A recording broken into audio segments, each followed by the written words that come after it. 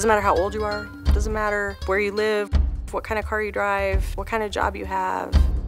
It doesn't matter if you pay $20,000 a year in tuition for your kid to go to the best high school.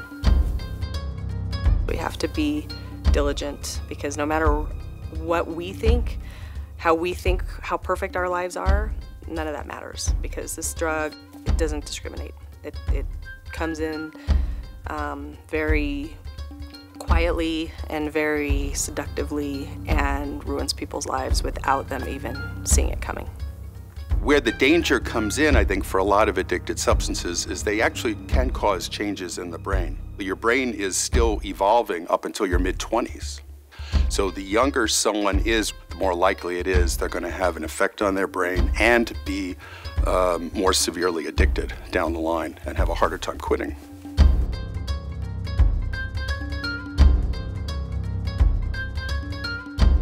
We were the family that had dinner at the table every night. We were the family that had the batting cage in the backyard and had all the kids over all the time. We were the family that talked about drugs, sex, alcohol. He went to private school the first part of his of his life and and just excelled. Then he got involved in football and just absolutely loved it. Loved it. My son actually started playing football, pee wee football, when he was a youngster. Michael was a triathlete. He played soccer, basketball, and baseball. Baseball was his passion. And while playing soccer in 10th grade, he had a knee injury and was prescribed narcotics. Oxycontin with three refills. That's about 90 pills. He was about 16 years old and he was a wrestler and a football player. Broke his collarbone and he had to do surgery and he needed pain meds after the surgery because he was in a lot of pain. I have seen athletes deal with painkillers and, and, and, struggle with um, painkillers and addictions and so forth. At the time, um, as a coach, I could see it in the athletes. I, I recognized definite changes in that particular athlete or those particular athletes, uh, but I didn't see it in my own son. For parents who thought we knew what was going on all around us. We were clueless. I am a licensed mental health counselor, a professional in the field. I did not see the signs due to, I believe, love and manipulation from our children. The manipulation you don't see as a parent. It was a day surgery, and so when he was in the recovery room, you know, we just met with the, the discharge nurse and she gave us the, the prescriptions. And, you know, there was no conversation or anything like that. It was just, here's his prescriptions and let us know if you have any questions.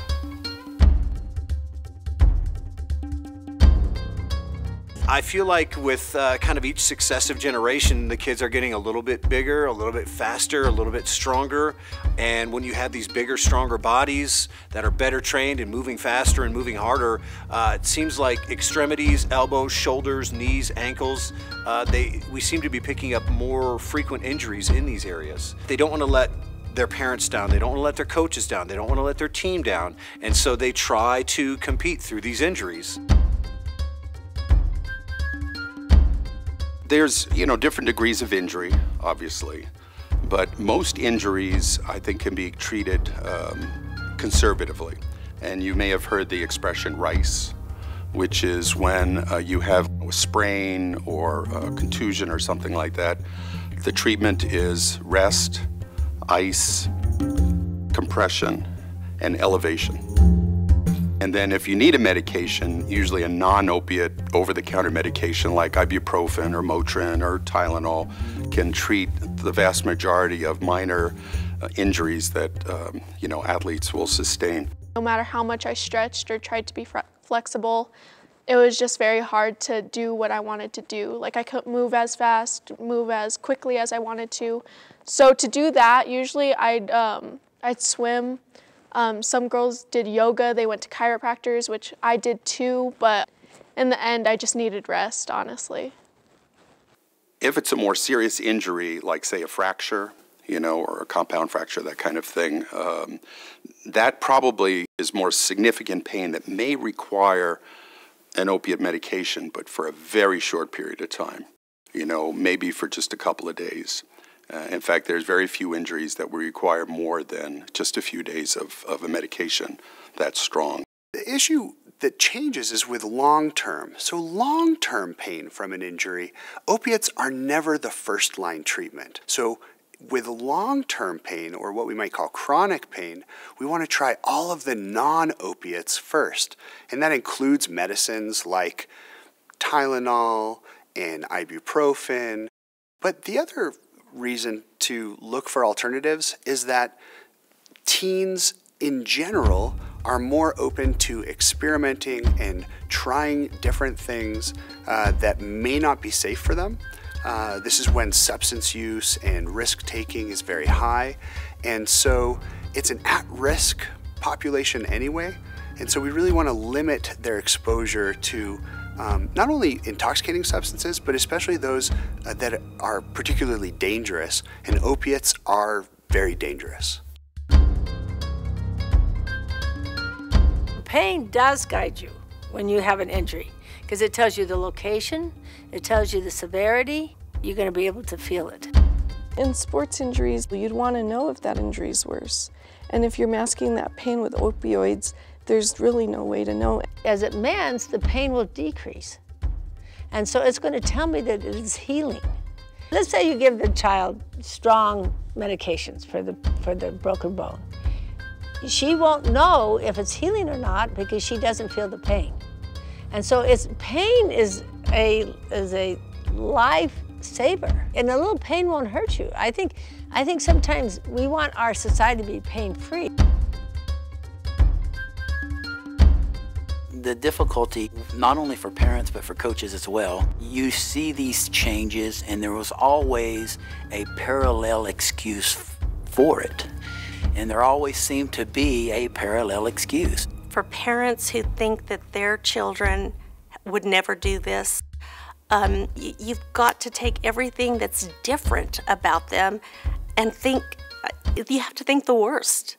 It's going to save their life in the end. You want to believe that, that what they're telling you is the truth, but um, I've learned through addiction that, that uh, you have to question everything. All of the stuff that we saw were typical teenage th things. My sister in law always said, when they turn 13, the devil moves in or they become an alien. And so we would laugh about that. That's what we thought. He was just going through typical teenage stuff. He was in junior year. Um, I noticed behavior changes um, extreme weight loss. I think he had lost like 30 pounds, and I thought that was due to conditioning. He had changed his diet, and I was like, wow, you know, he's he's really dedicated to football. There was an inkling that something wasn't right. There was something in my gut that was telling me that something wasn't right, but it really wasn't enough for me to do anything drastic about it. As mothers, as parents, I think we have a sixth sense almost of any indication of behavior changes. And it's all boils down to behavior changes. What is normal? What is not normal? So, the signs of a developing addiction are pretty varied. So, a parent should be concerned if they see less of their kid, or if the young person is acting differently. Maybe they're more moody. Maybe they're more absent. Maybe they're more irritable. Um, sometimes they might disappear. I can't find my, my teenager or they're not responding to my calls when they used to be very responsive. I mean, him not calling me back on his cell phone, him not texting me back. He was disappearing for a couple hours at a time with me not knowing where he was at. Others are if money is disappearing, if uh, objects of value are disappearing and they can't be accounted for. And then I started noticing my credit cards were being charged. And he would be stealing my credit cards in the evenings and going to either Walgreens and buying um, the gift cards and then going to cash them out to get his drug of choice. Other things are if medications disappear. I found an empty prescription bottle in his room that was my dad's painkiller prescription from sometime in the 1980s.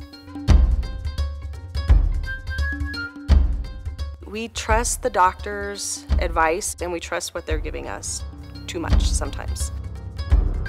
And you know, I, I think that we know ourselves, we know our kids, we know um, ourselves better than the doctor does, especially if you're if it's not your regular family physician, you may only see them for a few minutes.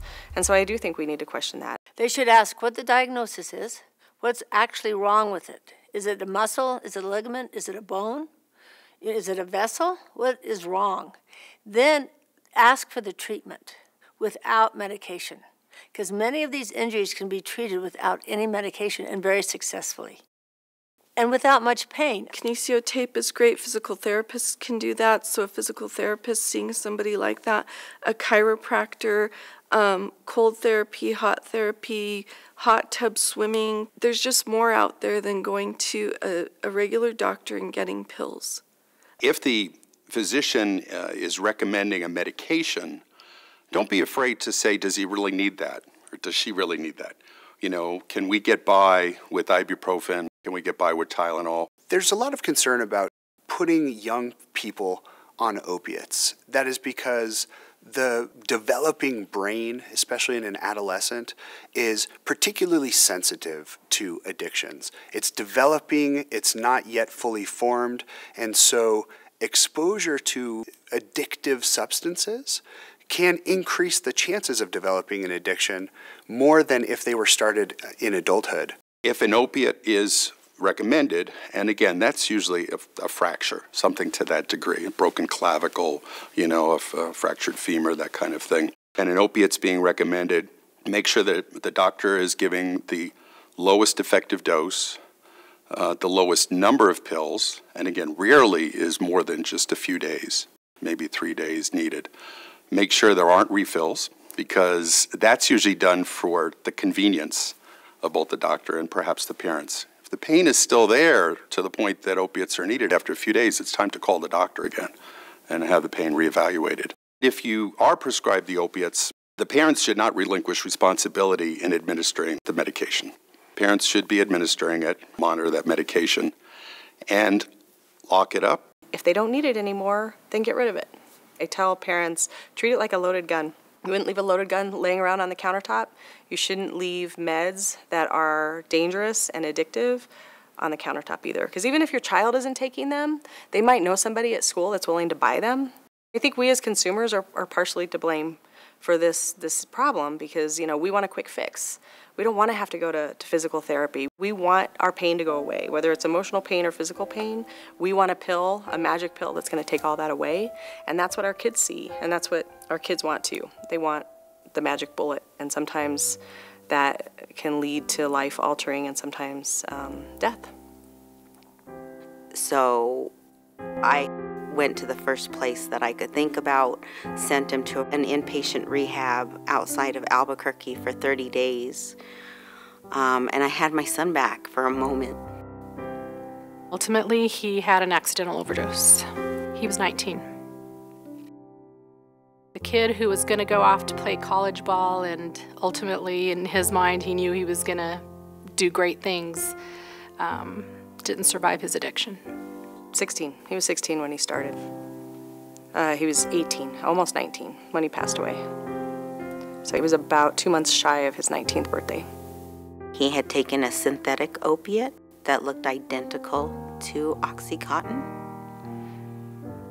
And he died. He stopped breathing March 11th of this year. He had just turned 21. Parents have to not let the stigma and shame keep them from asking for help and reaching out. Have an open dialogue about drugs and alcohol because our kids are going to get exposed to it no matter what school they go to, no matter what extracurricular activities they're involved in. They're going to get offered things and they're going to have exposure to it, and their friends are going to be doing it. Please. Please. Please. Think about this. Talk about this with your children. With your children. Children. With your children.